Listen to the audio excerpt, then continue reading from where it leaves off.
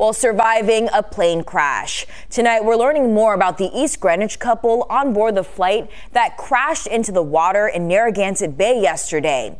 The pilot telling us she's grateful they both made it out alive. Lauren Brill joins us in studio with their story. Well, Sheena, the husband and wife, are both pilots. Alysia Larson says she grew up around planes, but neither of them have ever encountered an emergency like this. She says the training they've received prepared them, and it's what saved their lives.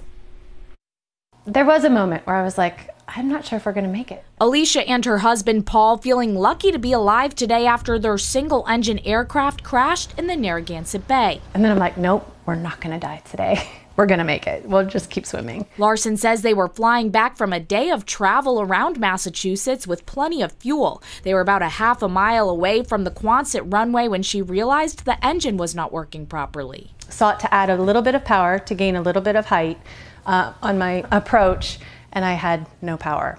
So I, there was nothing to be had. Um, so I ran my checklists, uh, my engine out checklist as, as quickly as I could, getting through about 75% realizing there was we weren't going to make the runway.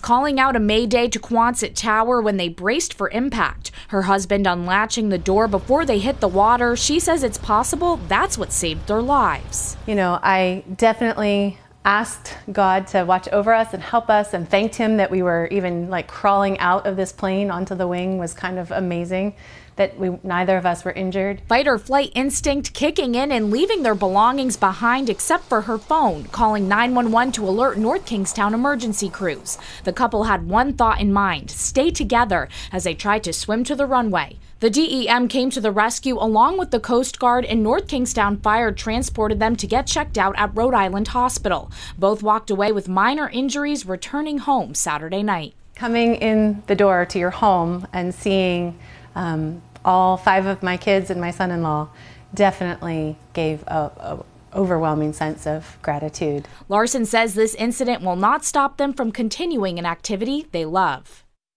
Now, Larson tells us she's still not sure exactly what caused the plane to malfunction. The National Transportation Safety Board says once the plane is recovered, if it is substantially damaged, they will investigate further. Live in studio, Lauren Brill, 12 News.